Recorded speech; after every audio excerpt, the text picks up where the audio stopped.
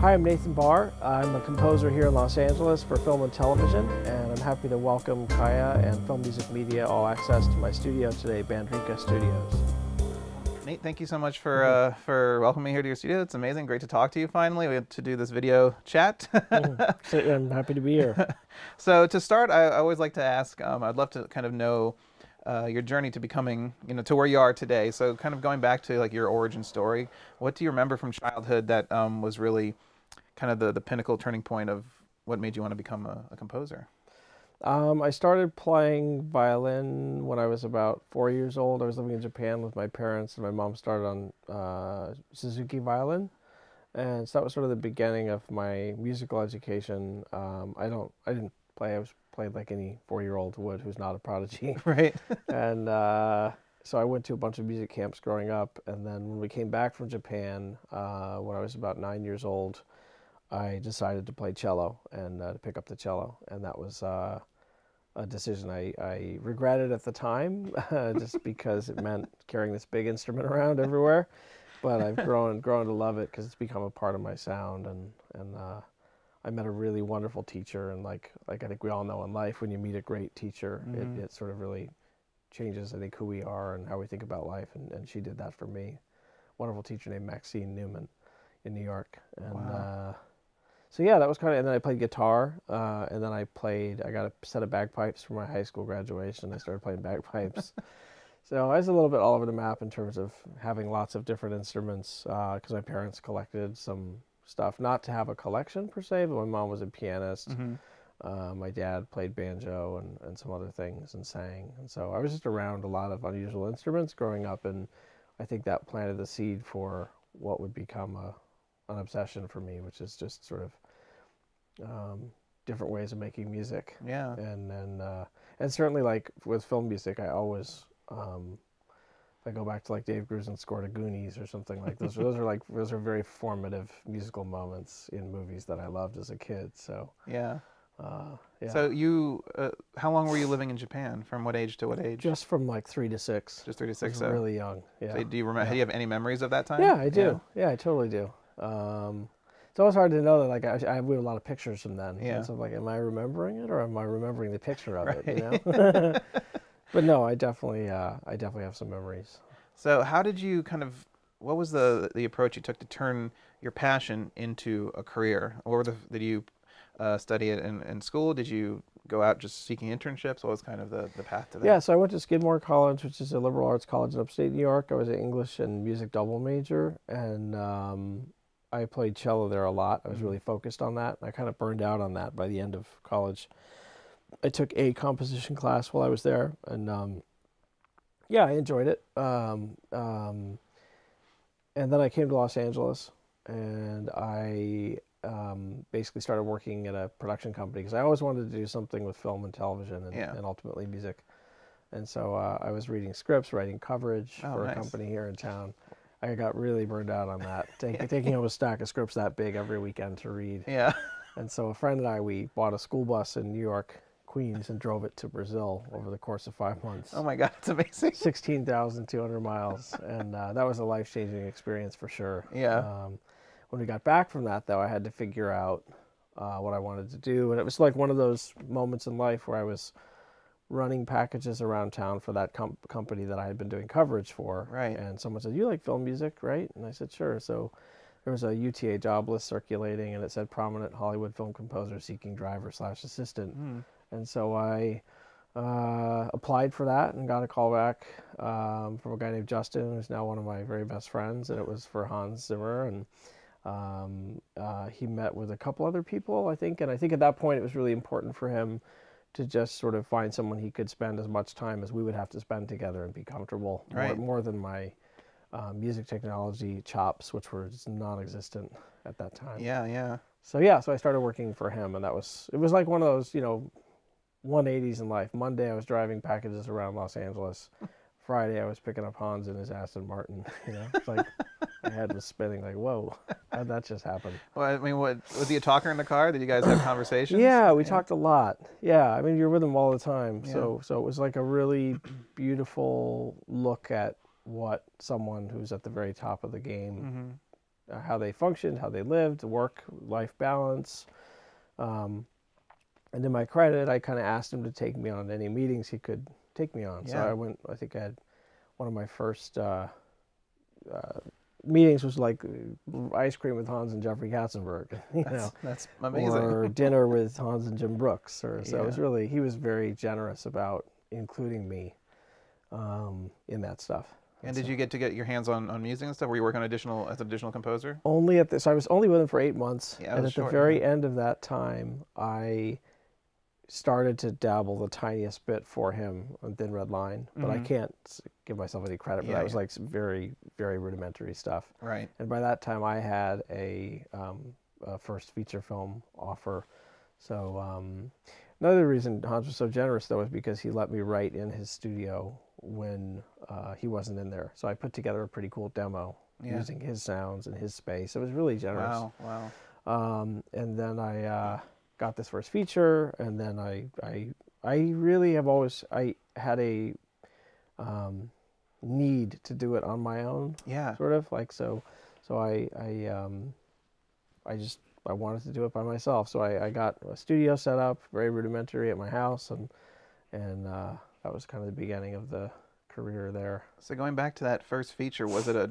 Were you excited? Were you Oh, scared? yeah. Or was it? Yeah. what were the I was- emotions? yeah i was excited and terrified at the same time Right. because i didn't know if i could do it i knew i could do a short film and write a theme for a short film i had no idea if that would translate into a feature film and so yeah. So it was kind of a nightmare. And again, Hans was generous. He, I brought in my first round of stuff to him.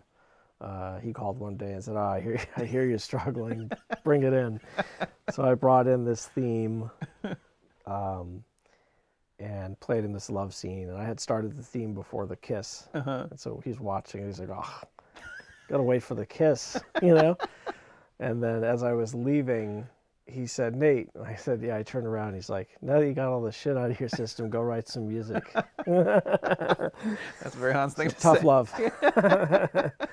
So it Um, was, uh, yeah. Yeah, Yeah. But, but going through that, I mean, everybody, you know, people always look up at these at successful people and go, "Oh my God, how they become successful?" But I think you know, to learn, you have to fail, and early on, you have Big to time. fail. And so, what were kind of those early in your careers? What were the big failures that learned to uh, learning moments that you kind of know Mhm. not to do ever again? Or Yeah. I think it was like, I don't know if it was failure as much as it was doing something just okay. yeah, You know what I mean? right, yeah, Like, I guess uh, there were a lot of films I wanted to do, which I didn't get, uh, um, whether I wrote a demo for it or not. mm, Um, but I think just like those first couple features, and they, like I, I, I think there was a hint of something that I could do this for a living, but that you know I don't think I did a great job or anything on those. And it's just about you know sort of that lying on the floor of the shower in the morning in a fetal position, Yeah. wondering you know if if I can actually do this. right, yeah, yeah, and then you sort of struggle and stumble your way through it and then figure out okay i can do that and each each film even to this day is a totally new experience that presents a new set of challenges and yeah And uh, I mean, so you you're very lucky. Very early on in your career, you got to, of course, meet and work with Eli Roth. Yep. Uh, on Cabin Fever, which was fantastic. yeah Um, so talk about, I guess, uh, first of all, talk about meeting Eli for the first time. How'd you guys get connected? How'd you get that job? And yeah and uh, let's start with that. Yeah. yeah i think like um, so i was uh, represented by rich jacobellis who's a who's an agent uh, who's been around as long as i have Mm. um, he was the fiance of mo nakamoto who was hans's one of his assistants at the time so she took my demo that i wrote in hans's room and gave it to him and he was an assistant to richard kraft and so he um, rich um, hip pocketed me and basically said, "All right, well, let me see if I can get you a film." And so he, we got one pretty quick, um, and so so that was kind of the uh, uh, yeah how how that happened. Wow. Um, and and I think from from then on it was sort of like he, you can always sort of trace things back, right? If you Mhm. follow the thread. And so Rich introduced me to a producer on a film no one's heard of called Venus and Mars. And uh, that producer somehow met Eli and somehow produced Cabin Fever and told Eli he had to meet me. And so Eli came over to my studio, which was on the on the an apartment in Westwood that I was living in at the time. And he walked in and like I had this, you know, huge DVD collection of horror films, and, and I think we just immediately connected to that. The fact that we both had subscriptions to Fangoria when we were kids. um, so we just had a nice rapport. Yeah. And Eli had such a commitment to his vision from the beginning, which I think shows in that film. Yeah, yeah. Um, he was going to make um, some really cool films. So it's just it's just a hitting it off pretty quickly, right? the- Yeah, the exactly. And that was such a, I listened to that score now and I kind of blush, but it, it was like, you know, it was no money. It was, Yeah. it was super low rent. It was me multi-tracking my cello, which has a really um, weird phasey sound to it, but it kind of worked for the film. you know, Yeah. it's like a very sort of, um, like low rent podunk kind of approach I to think it works perfectly score. for what, Yeah, yeah, what the score, uh, what the movie is. Yeah, and- exactly. Yeah, yeah. so that was a great, uh, great experience. So when you first uh, you first worked with Eli, and then you kind of continued onward with him, and with films like Hostel and uh, the House with the Clock on the Walls recently, um, how has that uh, relationship evolved over the years? Has it is it just like going back and hanging out with a bud every time you're making a film, or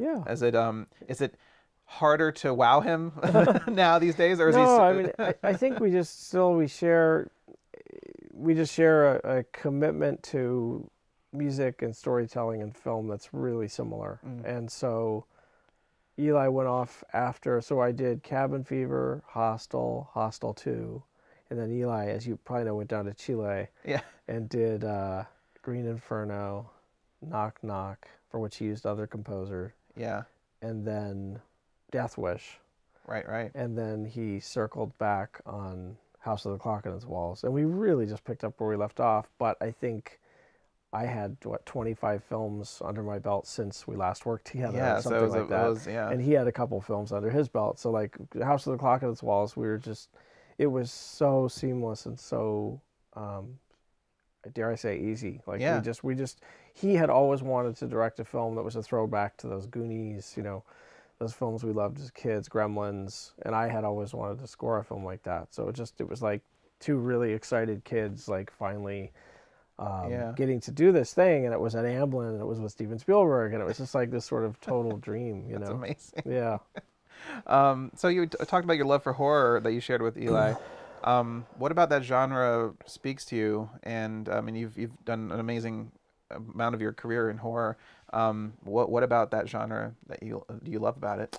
I mean, it's just my- it's my favorite genre to watch too. Yeah. Just as an audience, yeah. I just I just think like anything that um, so success when it's a good film so successfully puts us in a space of being in terror, Uh huh. but in the safety of your living room or a movie theater. yeah. is there something really? It's like a roller coaster. You Yeah. Know, you know, and like if I think of the the horror films I've really loved over the past couple years, um, it follows Oh, amazing.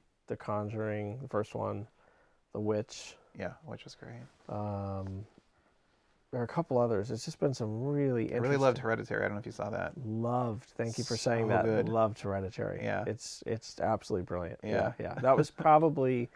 I've seen it three times. That was probably the best single experience of a horror film I've had in A long, 20 years. Yeah, it was amazing. Yeah, it was it was amazing. Yeah, it was incredible. So yeah, so that that so that okay, so Hereditary, a film like that, like yeah.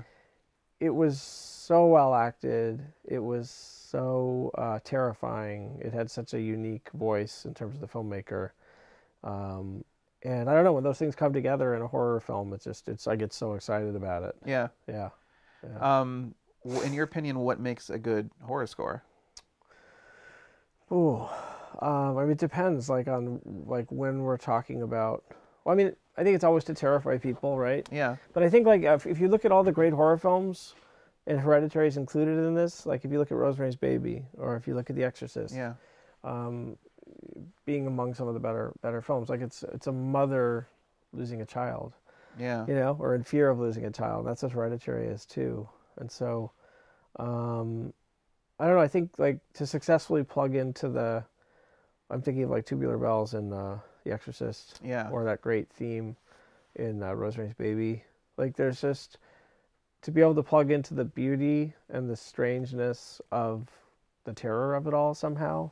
When films do that successfully, I think that's always an exciting um, take on, on a horror film. Um, obviously, it needs all that sort of um, aleatoric or atonal stuff as well. Yeah, but but yeah. I think when it when you when you plug into the emotion of it um, and and the, the dramatic part of the story, it makes it that much more terrifying.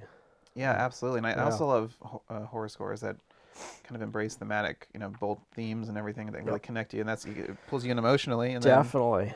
and then it leaves room to kind of uh, distort those things and Yeah. take you away from it further away, so it's more uncomfortable. Yeah. Yeah. and then like Kubrick did it so brilliantly in The Shining, and Jerry Yeah. Goldsmith in The Omen, and I mean they're just and then then uh, Wojciech Kilar and Oh, Dracula. God, I love you know, all, yeah, that's that's one of my favorite horror scores. Did you pick up the time, La La Land one that came out? I'm going to. It's so Yeah, good. I, They did a great I job. adore that score. It's so fun. Yeah, and yeah. So so thematic. Yeah. Yeah. Um, do you, since you're such a, you mean, you have a great passion for different instruments and world instruments. Is there certain instruments that you have for certain, I guess, emotions? Like, do you use piano for this, or do you use strings for this, or percussion for this, or is any instrument able to be manipulated to whatever you need it to be? I think it's like yeah. I try and use any instrument I can to do anything in the moment. Um, I do use strings a lot because I play guitar and cello. Mm-hmm. So um, I have a Indian instrument called a dilruba, which I use a lot for some of the screechy stuff. Yeah. Um, and but yeah, I think it's. I don't know if it's a go-to. Um, as much as, as it is like what whatever I'm feeling on the day or something like that. Yeah, yeah. But I mean, even this this thing up here, I'll show you. I can, can take it down. You know, this is a human bone. Um, it's called a kangling. It's a Wow. f- human femur, Uh huh. and it uh, it's uh, so it's been hollowed out, right? And uh, it has a mouthpiece on it. And I've had some really um, great brass players come in and try and get a sound out of it. And it's not meant to be musical per se, Yeah. but it, it does it does make some really amazing sounds. I'm using it in this new show on Amazon called Carnival Row. Um, and uh, so yeah, that that's an example of an instrument that And Is wh- where is it from? it's I think it's from Tibet. Wow. Yeah, and it's probably 200 years old, something like that. Wow. Um, Can you play a little bit? Uh, you can't really. No? It's just. now, if you take, if you really like spend half an hour blowing Yeah. into the thing, you start to get little moments of Hmm. like, wow, that what just happened there? That was interesting. And then if you take that and you add Work with that. a whole So bunch of effects to it or something, it starts to sound really cool. that's really awesome. yeah, yeah, Uh, let's talk with uh, about some of your uh, kind of projects. We talked about Cabin Fever a little bit, yeah. but really right after, soon after that, you did uh, Club Dread, Right. which was Right. a, s- kind of a spoof of your comedic take on, on that horror genre. What was it like scoring a a comedy of a horror comedy versus like a more traditional straightforward? Was it any different, or what did it It was. require? It was like uh, so over the top. Yeah. Silly, silly. I mean, those guys are yeah. so over the top. yeah, they are. I think it was just about like going along on the ride Yeah. of the film, and like and uh, yeah, I think it wanted to be ridiculous and play into the tropes of what one would expect a horror Yeah. film to sound like, but. That's one of those scores I kind of listen back to and I go, hmm. so it's not. Uh, I it was like that film was done over the course of a year. It was edited. I think the first cut of that film was like three and a half hours or Oh something. Oh my so- god! Wow. So, it it had a lot of like exploration as they found the film. Yeah. Same for me as the composer. yeah. Um, and I just. Uh, yeah, I, I guess I don't listen back to that one and go, "That's my best work," you know. so you talk about yeah, it was three and a half hours, and of course, in a comedy is not going to be more than ninety you know, Right. minutes usually traditionally. Right. But um, talk about picture changes because I think as a composer, that's probably such a I can't imagine Yeah. when you have everything set perfectly and they go, Yeah. oh, we're taking three seconds here and two seconds here. How do you keep your score from yeah. collapsing? I guess in that sense, especially. Yeah, it's. I, I think, I think most composers would agree. It rarely gets better hmm as you cut up a cue to make it work. Sometimes it requires a whole rewrite. Sometimes, like four percent of the time, it gets better by just circumstance Yeah. And by chance. But um, yeah, it's one of the it's one of the difficult things about what we do as you know film TV composers. It's just it's not our show isn't about us. you Yeah. know? we're we're helping tell a story Right. and uh, so I but it's also one of the things I love about it like uh, tempo the length Mm. of something when their changes happen like it's a we get the scene and it's a perfect roadmap for a piece of music and learning over the years how to like look at a scene and read that scene and Yeah. translate that into a piece of music that works in the body of the work, but hopefully also can exist away from it is really exciting. Yeah, I Um, always, I always love. I what made me fall in love with music because I'm not a musician, but I pursued what got me into filmmaking and Yeah. and loving of film is like when you take that music away from it, it's like I was kind of the equivalent of like putting your hand in the snow and you take your hand out. You know that it's supposed to be a hand there. You Yeah. see the shape still, and I Yeah. think the score is kind of this I like skeleton I like of, that. of the of the Yep. of the film. I, I always use it to build scenes in my head and stuff like that, Yeah. even if it's away from the movie. Yeah, and I know like a lot of writers too, right? Oh, they the put on scores the and they write. writing yeah, tool. yeah. I always tell other writers, I'm like, exactly. use use scores like that'll get your juices going like really good. yeah, yeah, totally. Totally. um, so I mentioned earlier Hostel and Hostel Two. Yeah. Um, working with Eli Roth again. Yeah. Uh, so those films, of course, were labeled torture porn movies. Right. These are these are horror that is, goes for the visceral reaction, and and so where how did wh- what did it need musically from you when it's something that's so visually graphic and Right. horrifying? Where Right. did where was the, the music's role in those films? I mean, Eli's like piece of direction there.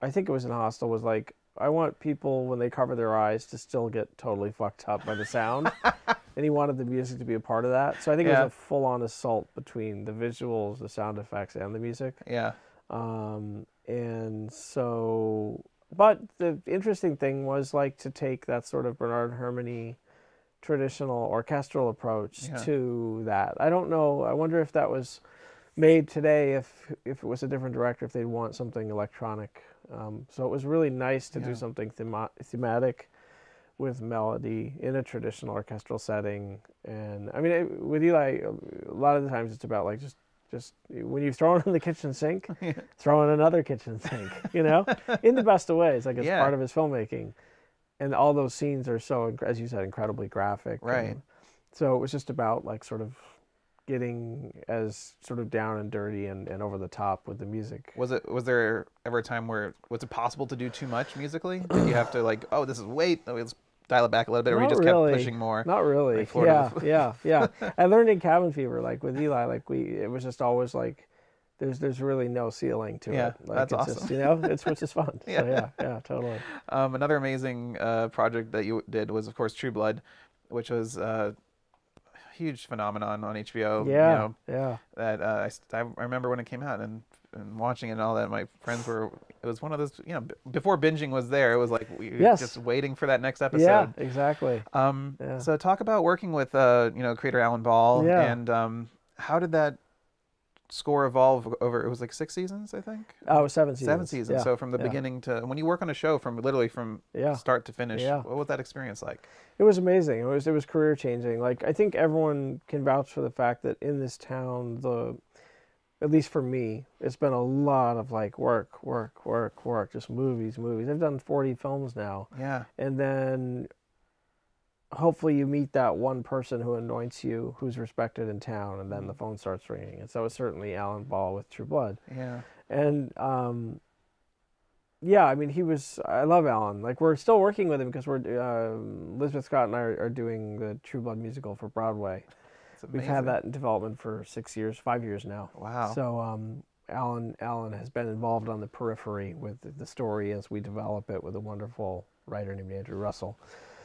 Um, so it it lives. True Blood lives on, like That's in our amazing. lives. Um, but Alan is, was like such a great filmmaker to work with because he always just talks about the emotional um, approach of the of the music, and if, if he's if he's not getting something, it's never about oh the the flute sounds wrong there or this Mhm. or that. It's always about like I don't feel sad enough, I don't feel frightened enough, I don't feel you know happy enough, whatever it is. yeah. And then and those are the best collaborators sometimes because they they give you something um, specific from an emotional standpoint and then let you work out whatever the craft is, whether you're doing hair and makeup or Yeah, you know, I mean, it's your job to translate that into Yeah. the music stuff. It would it'd probably be a nightmare if you had a director who was also a musician. Absolutely, yeah. and be like, Yeah. ah, shift this note.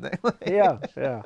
And so that was like one of those shows again that was like very thematic, which was great. And like the first thing I came up with was a guitar thing with Bill and Sookie's theme. And I remember Alan came to my studio in Topanga, and I was so nervous to play it for him. And um, it's in the first episode. I played him the theme, and he like was like, "Oh my god, thank you!" Like I feel something between them in, Yeah. a, in a new way. So it was like really, uh, it was really exciting. That's awesome. Yeah, and and and the, the the difficult thing about across eighty episodes of anything is Yeah. just like um, that theme was pretty old after even season one. So- Right. So, we came up with another theme, or I came up with another theme for them that then launched us through season two, and then we could bring that back the original theme here and there throughout. Yeah. Same thing happened in the Americans, where like uh, Elizabeth's theme, um, you can overuse it so fast. Yeah.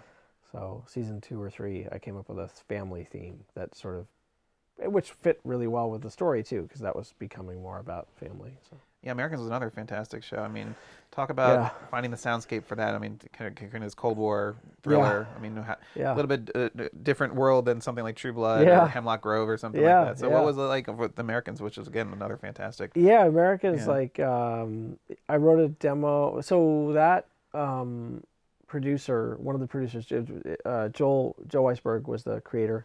Joel Fields is the, the Fields is the producer, uh, showrunner, uh, and they're writer the writers too. And Mm. I worked with Joel years ago, and we were hoping to find something again. And so he called me about this this show, uh, The Americans, and um, I watched the pilot, and my head like exploded. Yeah. I was like, "This is the best thing I've ever seen in my life." so I went off and spent a weekend. I wrote like a seven-minute suite Mm. um, using my pianos with the mallets and all that stuff, and they loved it. So they got hired, and um, it was. Um, we wanted to come up with a sound that was not overtly like Red Army Choir, Russian. That would have been so on the nose. Yeah, yeah. So we, we talked about keeping it away from that, and then again, it was very thematic as well. Um, cello theme for Philip, and the the little mallets inside the piano for Elizabeth, and um, it was a that was such an exciting show for me because it was Yeah. so dramatic and I just love that so well done, and so and the Yeah. characters were rich. The writing was amazing. Yeah. design, everything came together. It Must have been It yeah, a canvas for your It did. music. Yeah. it did, and the editors I have to give a shout out to the picture editors on the Americans um, because they were particularly awesome with music. Like yeah. there were a couple times where like they took a previous cue.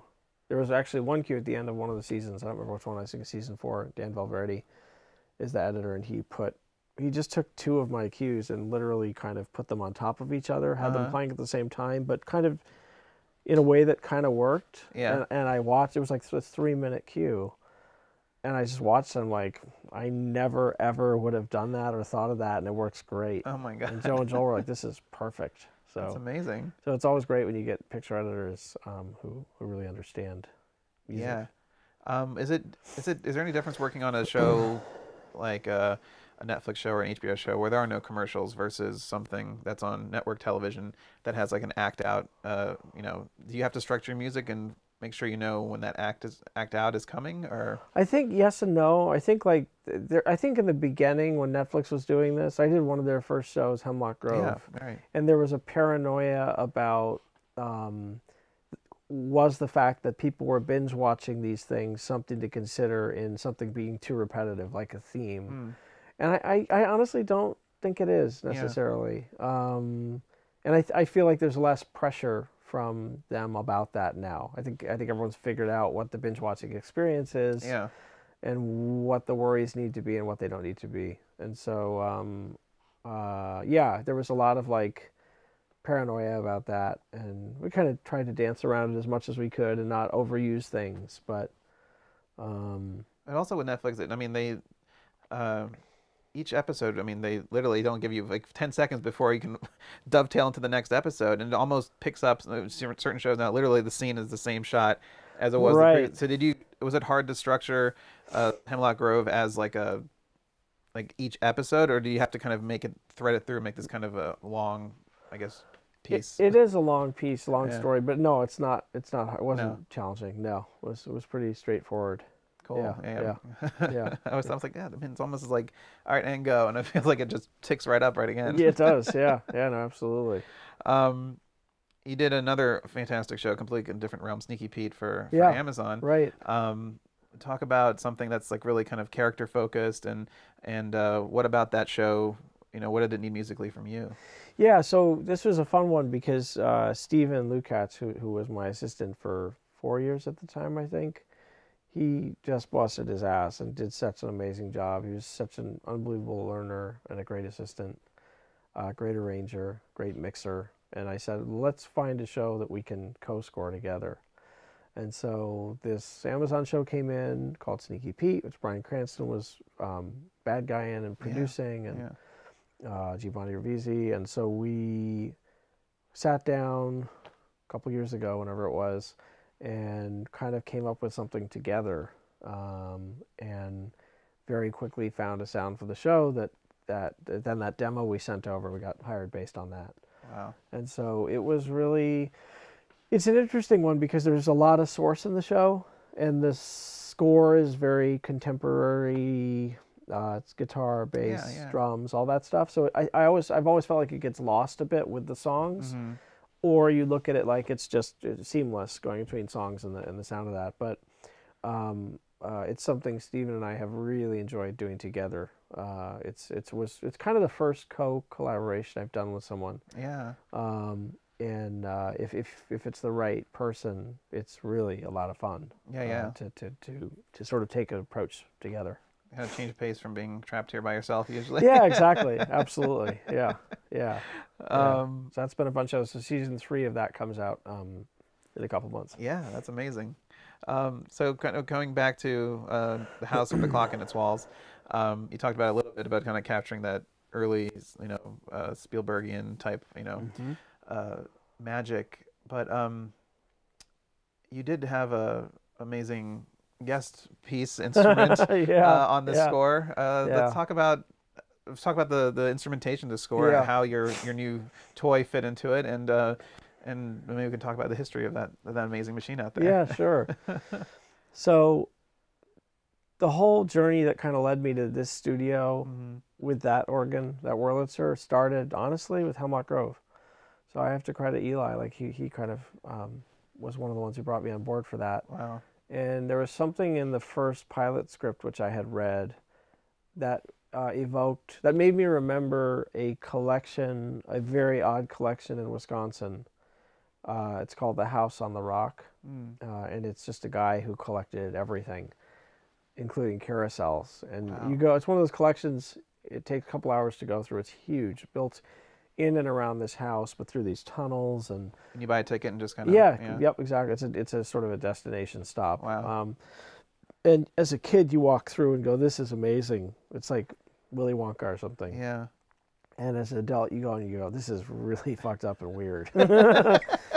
uh, so it's somewhere in between those two Yeah. two things. But uh, that collector had a series of automatic mus- musical instruments, which I've now come to understand are complete fake. Mm. But um, there are real instruments like those that exist, and so that's a long-winded way of saying the pilot script made me remember that collection, and I tumbled down the rabbit hole Mm. of automatic musical instruments. Um, and ultimately, that led to me hearing a Wurlitzer again, starting to get into the, the that world, and then finding out that the Wurlitzer from Fox Studios, which I didn't even know they had one, st- was still in existence, even though it was in crates at the time. So that whole "if you build it, they will come." Like I kind of just went on faith that like if I s- spent all this time and these resources building this place, that the right opportunities would come up to use that. And so, about six months before completion of the studio, Eli called about House of the Clock and its walls, Mm. and I saw I think I saw a rough. I read a script, and there was actually a talking organ, pipe organ, in the movie. I was like, this is crazy. And then I saw a very early rough cut, and there was like some organ stuff floating around there. I was like, what are the chances? Yeah. So I had Eli, I told him about this, and he was thrilled about it. And so I was racing to finish this studio in time to be able to record orchestra here Yeah. and record the organ. Wow. So it was like this incredible amount of stress. and I had Peter Cobbin and Kirsty Whalley from Abbey Road, uh, they're now on their own, coming over to do test recordings here before we recorded House of the Clock and its walls. Wow. So, uh, so we had these this incredible pressure and deadline, and uh, it all came together so beautifully. And uh, that that organ is all over the film in the score. Even when you don't hear it, it's there, Yeah. just sort of filling in space. It's such a such an exciting instrument that I'm just starting to experiment with. But that was the perfect vehicle to actually let it also express itself as it was intended, which is a 1920s silent film accompaniment kind of thing. So it was just sitting in crates at Fox? It was just like boxed away. So basically, it was installed uh, in October of 1928 at Fox Studios on the scoring stage. Uh, it was it remained there until 1998. Um, as I mentioned, like Bernard Herrmann used it in uh, Journey to the Center of the Earth, Day the Earth Stood Still. Uh, Alex North, Dimitri Tiomkin, Jerry Goldsmith, John Williams used it in Empire of the Sun, Witches of Eastwick, Home Alone. Uh, it's the organ you hear in The Sound of Music when Maria gets married in the church. so it has this incredible history in film music, and it was just forgotten about. Wow. And Fox just kind of threw it out in 1998. Unfortunately, a guy who knew about pipe organs came in and lovingly um, removed it. And it needed to be an organ man to remove it. Yeah. These these instruments, of which there were thousands back in the 20s, there there are so few left. Yeah, yeah. Most of them are gone and destroyed, or you get hobbyists or enthusiasts pulling them out. It's a disaster. So this was lovingly removed by professionals, and so it was it, it's it's such an unusual instrument on many levels. But the fact that it's intact and it was in the shape it was in is is extraordinary for an instrument that's you know 90 years old. That's amazing. So. Um, And Fox was just like, yeah, you can buy it. Like, or yeah, you know, it's a bottom line thing. Yeah. They looked at it, they said, how much is this going to cost to restore or, or maintain? They're like, ah, Yeah. get rid of it. Yeah, you just- know, it's, it's, I mean, it's really sad, you know, Yeah. but um, thankfully I became completely obsessed with it and obviously built a whole, you know, facility around it. Um, and Danny Elfman just used it in The Grinch. Yeah. I put it in the House of the Clock on its wall. So I love literally within six weeks of it up and running, it was in two major motion pictures. That's so that's exciting. And then Yeah. I'm using it all the time in um, this new show, Carnival Row, on Amazon, which comes out end of this year. It's being used there all over. I mean, I use it constantly, and not even just as an organ. It's a 20s synth. You know, it's a 1920s Mm-hmm. yeah, you can create synth some amazing textures and sounds. incredible and like that's a when i first heard it i was like i love the nostalgia of it i love the history of it i love the mechanics of it but as a composer i was like oh my god like Yeah. that sound what's that sound that sound you know there's, so it's i'm just at the beginning of really exploring it and it's incredibly exciting I can see you probably now sitting in, in like a pitch meeting and be like, how about an organ? the problem is like it takes a bit of re-education because when everyone hears the organ they go oh god I know, yeah, I know. it's such like a and- the irony of this instrument is is 90% of the 99% of the time it was used it was used as a church organ yeah. it's not a church organ it's a theater organ it does a very different sound it Yeah. can masquerade as a church organ but um, it's been exciting for me not to tell people i'm using it Yeah. then they'll come over and review a cue and they'll go oh my god i love that i'm like that is entirely that organ I'm like what Yeah. you know so it's know like, you- it's like the the theremin where it just like has a connotation. yeah, yeah, It's like, oh, it's only for this. Right. But it's like, no, it can be anything. It can, although I think that's a tougher one to hide. Yeah. Theremin was tougher. uh. Although Justin uh, did a pretty good job recently on um, First Man. He Oh, kind of cool. incorporated in there, but it's Cool. yeah, Theremin's a bit harder. Yeah, yeah, but I mean, like recently with Interstellar, like Hans kind of Yeah. brought the change. Like, hey, this is not just a yeah. horror or religious. Although that thing. was again a church organ. It was like being used as a church organ, Yeah. and it was beautiful. It was it was wonderful. Yeah. Um, but th- this instrument is is as I'll show you something quite different. Yeah, absolutely. yeah. Uh, talk about the, the history of uh, you talked about the history of the studio, but also what the, the name. So you were Yeah, talking about yeah, the history of Bandrika. And what Yeah, it's the, called Bandrika. oh, Bandrika. Yeah, B A N D R I K A. It's it's a tough name for people to get, which I understand. So I love Hitchcock, and one of my favorite early Hitchcock films is called The Lady Vanishes, Mm-hmm. and that entire movie takes place in a fictional European country called Bandrika. Ah. And so I like that it tipped a hat to one of my favorite filmmakers in a movie I adore. yeah, And there's a very it's a very musical country in the in the film. The and the whole premise of the movie is based around a musical theme and code from a spy. So it, it just all kind of was like eh, eh, I, I loved the exoticness of it and and so that's why I called this studio that. that's amazing. Yeah. Yeah. so are we sitting? Is this where you come to write? Is this kind of where you sit? Yeah, to, yes. This is my writing room. Behind me, these books. This is a, a diffusion wall. Uh-huh. Uh, most times when you see a diffusion wall, it's like a, you know, multiple panels that Yeah. sort of diffuse the sound. And I wanted to do something with more vibe Yeah. than that. And so I talked to my acoustician, and we we talked about the idea of books. Wow. And so you could actually buy books by the foot believe it or not. Wow. And you can buy books by the foot very specifically from like the 1400s, 1500s, 1600s, different sizes, shapes, colors, whatever. And so we, uh, my acoustician calculated 66% of the wall needed to be diffused. Oh and so we bought multiple sizes of books and we specified, I think the earliest book here is probably 1820s, 1810, and then it goes up to the 50s, 1950s. So, I, and inadvertently, what I love is like just as like there's that organ from the 20s in there, yeah. it ties this room in with a bit of history as Yeah, well, which is kind of cool. So are these arranged in a specific ways? Like No. no, no. so, no, it just needs to be diffused. Just yeah, diffused, yeah. okay. So, so uh, the only way it's arranged is that you want as little uniformity as possible, Ah, okay. right? Yeah, yeah, yeah. Uh, so yeah, just spread them, spread them. It's not like you can't take a book down. okay. And and ruin you know, we- yes. Yeah, we found all these cool, you know, they're all real old books. Here's Reveries of a Bachelor. And so we were looking in here. I just sometimes go through these books, you know, and someone, this is from the 1800s. There are pressings, and here we go, four leaf clovers. Wow. Uh, and then this book, you know, what is this? Elizabeth Stuart Phelps, Gypsy, Sarah McCullough, March 3rd, 1908. So there are all these cool little transcriptions, and it's just a really nice way. Like, I'll just, if we're mixing something, I'll Yeah. just kind of wander back here and them. And- yeah. poke through books, and we found some really cool stuff. That's incredible. Yeah. So I mean, that, I mean, yeah, that's also kind of you need a break for something and just to Yeah, rejog yeah. your mind or something. Yeah, yeah, and there are a lot, a lot of the books are art and history and music and just by chance. Yeah. so it's it's cool. And then I also have seen the other cool thing now was like there were some producers who were sitting back here for a couple hours when we were doing the sessions, and they Yeah. just grab a book down and read through it. And, That's awesome. yeah, it's kind of cool. Yeah. So, I mean, talking more about your general approach, uh, Yeah. we, we talked a lot of your individual projects. I know it's going to be different on every film, but Sure. where does the first note typically come from for you? Where does that like first area of inspiration? Do you like seek out just sitting with the director, or do you read the script if you can, or is it just Yeah. watching the first cut of the film? Yeah, I mean, well, hopefully you like the project. Yeah, And you don't have to take it to pay the bills. Yeah. And we all have to do that every once in a while. right. Um, so if I think it's always like for me about finding like um, hopefully it's a great project like the Americans or something.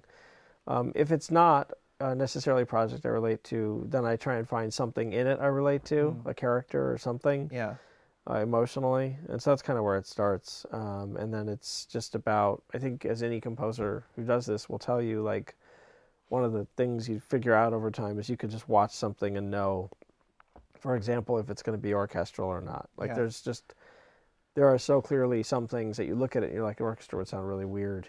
Well, you don't Mhm. even need to try it; it would just you just know it would. yeah, So um, yeah, so and then sometimes I'll go buy a new instrument or something that I'm not familiar with if I think that could work. Um, there's an instrument over there called a nyckelharpa. Mhm. Um, that took four years to get, so I, I used that in a show called The Son, um, and I've and I've used it quite a bit in some other shows. And that so that was an, it was like an instrument I didn't know that well that I could kind of play because it's like if you took a cello bow and then a hurdy gurdy or or a violin guitar and it plays.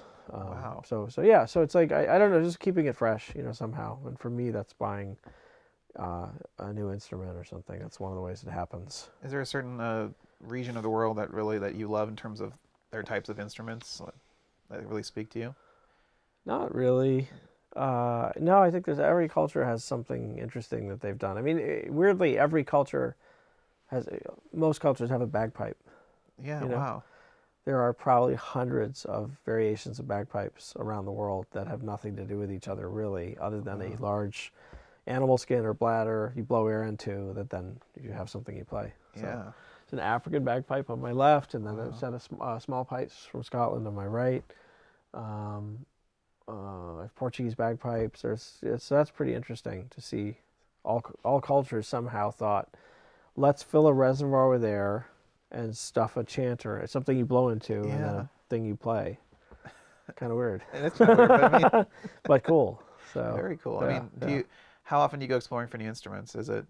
Are you always on the lookout for Something? all the time. Yeah. I, I, I sort of made a deal with myself that I will always have an instrument on its way to me or in restoration or something. That's exciting. so I have uh, a really unusual instrument right now that's going to be tied into another instrument I invented in there. Uh, that is being restored right now over the Wow. past, next couple months. That's from 1923. That's Um, amazing. so yeah, just like I don't know, just exciting. As you'll see, like there's so many, uh, so so many brilliant people put their minds to making music in unusual ways, Yeah. like the Wurlitzer, and uh, I just like getting caught up in all that magic, you know. And also, it's thinking outside the box. Also, is what creates new paths. I think so. We're not Right. just kind of recycling the same stuff and over Yep. and over again. So Yep. also for you creatively, I'm sure that's just a you ch- challenging you every time to kind of find new things and stuff. It is, yeah, totally. And like, and then maybe picking up an instrument I don't know how to play, and you can still get sounds out of it that Yeah. might be useful. You That's know, awesome. yeah. Um, So, uh, what's your favorite part of the entire process? Like from that first getting hired to submitting that score and everything is mixed and complete. Like, what's was there a part of that or parts of it that you really look forward to? I think the favorite part is when I finally come up with a good theme that I like. Yeah, yeah. That that moment where where I find a theme that I know is working, uh, and it it's just sort of born, and then the filmmakers like it too. That's Yeah, that's that's a really fun part of that. And then like figuring out how to make that theme play throughout the film and develop it, and that's something really exciting. But honestly, I just love like writing a picture. I love that I've been doing this. I've done this tens and tens of thousands of hours, if not more. Yeah. And and I just like that um, because I've had so much time at it, I can look at a project pretty quickly and just decipher a scene, what it needs to be, where it needs to go. That's just like an exciting thing for me yeah, yeah. that most of the world wouldn't necessarily care about. But Is it is it nerve wracking to present your music to a producer or director for the first time? yeah, always. Yeah, I- I it's a like little it- bit less and less, like as Yeah. confidence goes up a bit. But it depends on who it is too. Yeah, I'm like sure, I was somebody like- petrified the first time I was going to play it for Alan Ball Yeah, because I really respected him as a storyteller and. Um, uh, but yeah, as you as you're as we're able as composers to plug into things that those people respond to, it it's a little less scary, but it, it can still be pretty also terrifying. I think it's kind of vulnerable because it's coming from Oh my God! really huge. here. It's like- yeah, like- exactly. yeah, yeah, and it's like that. It's one of the only parts of a film, right, where where we're bringing something completely original and Right. new to the story. It has Yeah. nothing. It did not exist before. It's not coming off the pages of the script. Mm, You know, it's it's it's it's not. It's yeah. It's it's just creating something wholly unique that you hope plugs into what the storyteller wants. yeah, absolutely. Yeah. Um, so as a throughout your career, you, you know you have a love for horror, and you've done a lot of horror films. Was there ever a worry where you're like, oh, I just don't want to get pigeonholed into horror? I mean, you've, Yeah, you've, you've been so. lo- I mean, you've done amazing other genres. No, but stuff. sure, of course. I mean, it's it's two things. Like, so I've probably like a third of my career is horror, Yeah, but most of the films that I've done have such a small audience. Like most people don't know about it. right. But of the 40 films I've done, you know, maybe so let's say uh, f- 12 to 15, 15 are horror films. Mm, And and because Cabin Fever, Hostel, House, some of those are the best known. yeah. Yeah, you become pigeonholed. But but having said that, like the Americans Oh yeah. just yeah. dropped into my lap through an old friend who knew that I could do something different from horror. And so I think, uh, and then House of the Clock at its walls, well, while it's a horror film, it's a kid's horror film. So Yeah. we as composers have so much more to say musically often than we're given as far as projects we get. No, absolutely. So recently, having gotten some of these projects outside of that genre um, has been exciting. But at the same time, I love horror films. So if if uh, I'm much more um, selective now. yeah. If a Hereditary came along, I'd do it without even thinking about it. right. If it's not on that level, then I probably won't do it. Yeah. Yeah. Yeah, yeah. That's that's interesting. Um, when you're working with a director, producer, um, let's say somebody, let's say like with Eli, who you're comfortable with, Right. uh, if you have a fundamental disagreement with their choice, Yeah. do you? What's the process for that? If you do you just be like, okay, let's do it your way, and and if they like, but if it, if you like, no, it really should be this way. Do you? I mean, how do you get when you have a creative disagreement? Like, how Yeah. do you do that with the director? I mean, it's like it's it's again, it's like we're we write music in service of a story. yeah, You know, it's Yeah. it's not Nate Barr presents. It's whoever the filmmaker is presents. So why would I sit there and tell someone they're wrong? No, this is not. It's their story. I've been brought in to help them tell their story. right, Doesn't mean I don't have a vision, right, uh, and I don't always agree. But I'm not going to sit there and and tell them, yeah, no, you're going to license that or get something. That's just for me. That's not the way I work. right. Um, so I think that's making it about the music, and it's not about the music first. It's about the story first. Absolutely. Um, and um, the most exciting collaborations are the ones where I may disagree, but we we let it go in that direction, and it actually does become better. yeah. And then there are plenty of instances where I'm like, oh, I like my way better, but yeah. if this is what they want, you know, That's right. They're the, yeah, I rarely sit cringing at a choice that's been made. Every Mhm. once in a while, but it's pretty rare. yeah, that's good. yeah. um, so to kind of wrap things up a little bit, Yeah. um, well, what you know, it's it's 2019. What what what are, what are some things in the industry that's happening right now, whether it's business side or creative side that you really love that's happening, or maybe what are some things that need improvement in, in our in our world? Yeah, I mean, I think like the just on the business side of things, the royalty, royalty streaming and all this stuff with with Netflix, Amazon versus network, Mhm. all that stuff's a little bit scary right now because Yeah. for everyone because there's like there are so many unknowns. Yeah, yeah, Uh, so the the the it'll be very interesting in the next ten or fifteen years to see where all that stuff ends up. Um, uh, I don't know. It's Mhm. it's it's. Uh, I'm glad I got in when I did, um, and and hopefully people will still be able to make a, a living and a good living making music. But it, it's certainly it's certainly becoming harder in some ways. yeah, for sure. Um, you know, you hear those horror stories about the people that write a hit song, and ten years ago they would have earned you know millions of dollars, Yeah. and they get a check for like two hundred bucks. yeah, on something, you know, Spotify, I've know. seen like big name Yeah, like Pharrell yeah. showing like their peanuts of Yeah. like for So, I millions mean, of streams. So the only thing that can't be taken away from them at that point is their their ability to go perform, and and uh, that's where they can really make their money. But so that's something that's changing. It's a bit scary. yeah, Um, otherwise, I think uh, you know it's a, it's a bigger and bigger pool of people who are interested. Yeah. Like I think 30 years ago, there were probably far fewer people who thought of this oh as a viable career. You Mhm. know, and even then it was it was a challenge. But so yeah, I'd say there's like um, just a lot more people doing it, and some of that's really exciting. Also it adds to competition too. That's Yeah, absolutely, all that. makes it more difficult when everyone can get a pretty good setup for much cheaper these That's days. with- true. technology has gotten so far. Absolutely. Yeah. Absolutely. Um, but I think the you know the, I think I'm so happy to be working in a time when TV has become Yeah. such high quality. It's uh, as we know it in, in many cases it's giving film a run for its money. Oh, for sure. I don't think you'll ever replace an amazing film experience in a theater. No. But you will replace the gobs and gobs of mediocre films out there with much better storytelling on. I wrote an article TV. about because I think that's where the middle class of like movie making went. is where all the auteurs went. I love it.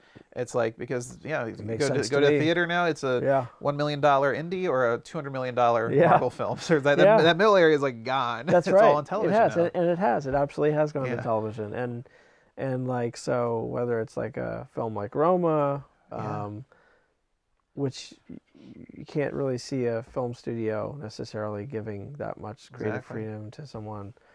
Uh, so I think there's some really great benefits to that right now, and just like again, like just I've seen so many, as we all have, so many TV shows that Yeah. are just like, this is amazing. like the, you know, you have the Americans. I was yeah, it's yeah, like that is yeah, yeah, I think so. yeah, exactly. Or Game of Thrones, or um, I mean, there are just zillions of them, and they don't. They're the uh, the uh, the Crown. You know, amazing. I mean, that, that's like every every episode is a beautiful Yeah. period film Yeah. of the highest quality. I mean, it's it's astounding. So that's that's the most exciting thing right now. I Yeah. think to be a part of, because as we know, TV and music for TV in the 80s and 90s, it was a very different story. Completely different. You know, Yeah. you know, the, so, the medium has completely changed. Yeah, exactly. Yeah, Um, yeah, and to to wrap up, if you could um, do any other job on a movie yeah. besides the, being a composer, whether it's acting, production design, yeah. directing, editing, is there anyone that you could you wish you could just try once just to I mean, I think editing would be really interesting. Yeah. Writing, I've, I've tried a little bit and I hate it. yeah but editing, you know, John Ottman is such a, Oh a God. amazing guy to be a composer and an editor. It's, Yeah. it's like got nominated for an Oscar Exactly, it's wonderful.